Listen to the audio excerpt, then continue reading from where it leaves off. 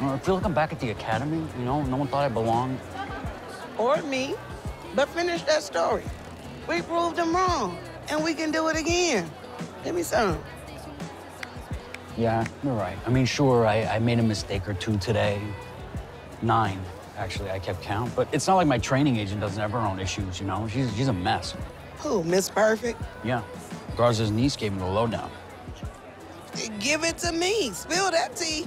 Laura was the youngest agent ever to be accepted into the behavioral science unit.